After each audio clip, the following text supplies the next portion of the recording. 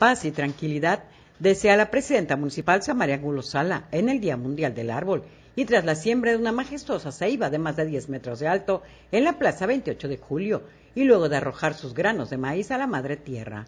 En la ceremonia maya que cumpliría los deseos de paz, armonía y prosperidad, la munícipe amablemente respondió que los deseos son secretos. Que tengamos, como dicen, la paz en el municipio, que tengamos... Pero si son, si son deseos, ¿por qué te los digo? A preguntas expresas, la munícipe solidarense explicó que mañana sostendrían reuniones con las autoridades electorales para acordar la vigilancia externa durante las elecciones, además de que las Fuerzas Armadas Municipales solo responderían al llamado al 911, lo que evitaría cualquier conflicto. Samaria Angulo también fue sahumada para alejar los malos espíritus durante la hermosa ceremonia maya llevada a cabo esta mañana del martes 26 de junio. Con imágenes de Jorge Velázquez para Notivisión, Lourdes Mata.